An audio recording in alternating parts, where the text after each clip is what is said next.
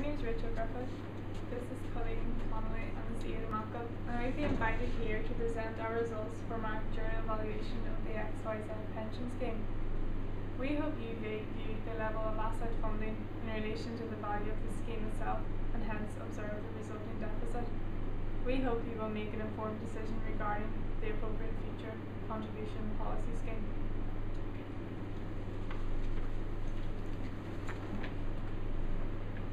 Okay, so before running the Superval software, we first calculated the financial and demographic assumptions that we will be including in our calculations. In the sensitivity analysis, which features later on in this presentation, we will discuss the impact of the changes in assumptions to our liabilities. To begin with, we analyse the present condition of the financial market, which we all know has been through some turbulent times recently. Due to the drop in the value of shares in the FTSE 100, companies such as ours will struggle greatly over the coming years to cover the funds required for the pension schemes. This is evident because companies such as BP and Barclays have taken action to secure their funds by moving from a defined ben benefit scheme to a defined contribution scheme. The reason behind the move is that in a defined contribution scheme, the employee has to contrib contribute more to the scheme rather than the employer. Therefore, this reduces the company costs. Due to severe underfunding in the majority of schemes today, we as actuaries will be exhibiting high levels of prudency when constructing our assumptions. First of all, we have used an accrual rate of 160th. What, what this means is that for every year a member is entitled to a pension, they will receive 160th of their total salary. This rate is widely accepted and appropriate for companies such as ours. Next, we calculate the interest rate based on the 30-year average of the FTSE All Share. We then added a premium and produced a figure of 6.3% for pre-retirement interest rate and 5.8 for post-retirement interest rate. When calculating our inflation rates, we use the same method as before, taking our average of 30 years and arriving at a rate of 3.5, and following this we set the salary growth at 4.5%. With regard to the proportion of the population mourned, we used a figure of 90%. We are aware that this seems high when you consider the increasing divorce rate in our society today. However, we are, as actuaries are experienced prudence. Also, we assumed wives were three years younger than husbands and assumed a spouse's death in retirement to be 50%. When calculating mortality rates, we use the PMA 92, PFA 92 based mortality rates as they are the most recent and reliable tables available to us. To make our results more relevant to our XYZ pension scheme, we decided to give non-pensioners a rate of minus 4 and pensioners a rate of minus 1. The pensioners' rate is a result of the group not benefit from the medical advances due to their age. With benefit to the pension increase, all workers in the companies were assigned to a category based on their position in the company, category 1 being assigned to a category based consisting of staff such as cleaners and security. The job ranking increases in line with the categories, with category 5 containing the senior management and executives. As you can see from the table, the lower categories receive no increase in their pension. Category 2 increase based on the RPI and the remaining sectors receive 4% increase. Our other assumptions include salaries were averaged over the last three years before retirement having a retirement age of 65 for both male and female. There is no existence of early retirement in our pension scheme. Revaluation in deferment is 3.5%, no cash commutation, death in service benefit and death in deferment benefit is insured. After running Superval, here are preliminary results. It shows a breakdown of the funding for each of the three categories, actives, deferred and pensioners.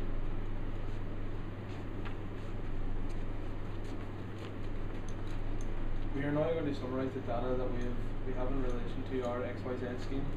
Here is how the scheme is divided in relation to gender of the members and types of, types of pensions.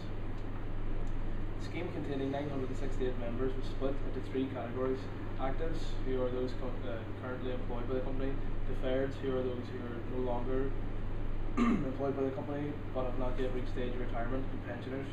As you can see from the chart, the majority of the the scheme is made up, of, made up of deferreds. The categories shown represent the rate at which their pensions increase. We are now going to look at liabilities. Funding level is now is currently 58.5%, which is which is alarmingly low for a pension scheme. We are confident in these figures because, as well as running our scheme data in, into the Superval software, we also perform manual checks using Excel to back up our results and check for any computing errors. We intend to bring our funding level back up to 100% by the year of 2020. This is ambitious. This is an ambitious aim, although we have uh, devised a plan that would result in reaching a goal, which we will now discuss. Our first plan is to investigate the investment portfolio, portfolio to see if uh, can increase its returns. Next, calculate a framework for an employee pension scheme within the company. Thirdly, encourage the employer to con contribute further to the employee saving. Also, uh, we have sorry, uh, sorry uh, for to contribute further to the employee saving. Also, we have we having done extensive research, feel the company should switch from a defined benefit scheme to a defined contribution scheme. This will mean that the company is not liable for any de deficit. Finally, we feel that it would be beneficial to change the assumptions, which will outline in greater, which we will outline in greater detail in the presentation. We believe that this change will be the most beneficial and will bring out the greatest improvements. Asset summary we've we've decided that it is in the best interest to change the asset location rather than having all the assets tied up in equity, which although it can yield good dividends, it is extremely risky, especially given the current recession. We feel that the assets would be better allocated between various bonds.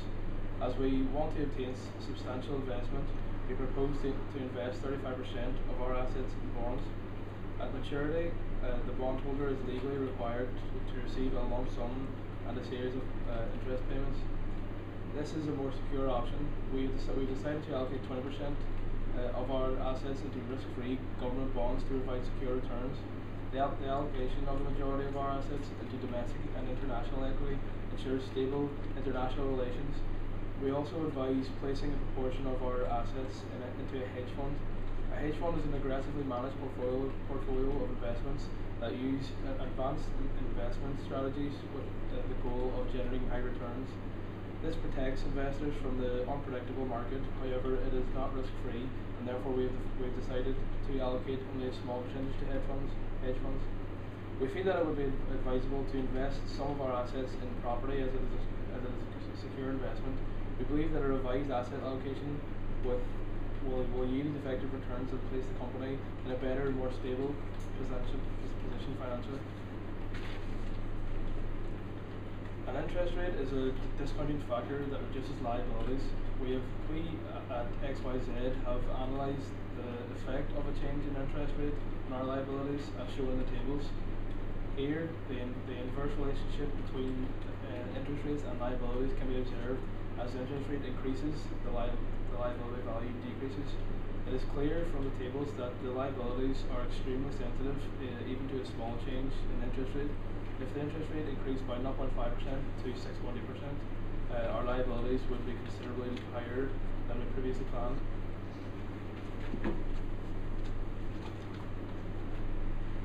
Similarly, we calculated the effect of a plus 0.5 change in our inflation on our liabilities. As you can see, if our inflation rate turned out to be 3%, we would again reduce our liabilities by 11 million to our XY pension scheme. If the interest rates turned out to be 0.5% higher than the predicted than predicted and the inflation rate 0.5 less than expected, our funding deficit would be worth half of its original value. However, with our extensive research into our assumptions, we feel that it would be advisable to stick to our original assumptions to ensure prudency is maintained. Cost savings. Having outlined the effects of the changes, we are now going to discuss how they should be implemented in order to save the company money. The XYZ pension scheme should move to a career average revaluation scheme, which changes the salary over the last three years in order to det determine pensions. A career average revalued earnings scheme is a type of defined benefit arrangement. It is set up by an employer to provide income and retirement for its employees. Although the employer is responsible for sponsoring the scheme, is run by a board of trustees. You, you would be responsible for paying retirement and death benefits. Members can take contribute to the scheme with the promise of a certain level of pension. The amount of pension payable is dependent upon the length of time served in the scheme, career average earnings, the scheme's accrual rate. The accrual rate is the proportion of salary that is received for each year of service. So if the scheme has an accrual rate of 60, the member will receive 1 60th of their final pensionable salary for each year of service completed. We found that implementing this could make a saving of one million three three hundred thousand six three hundred sixty five thousand fifty five pounds to our XYZ pension scheme. We suggest changing the accrual rate from sixtieth to eightieth, which as you can see from the graph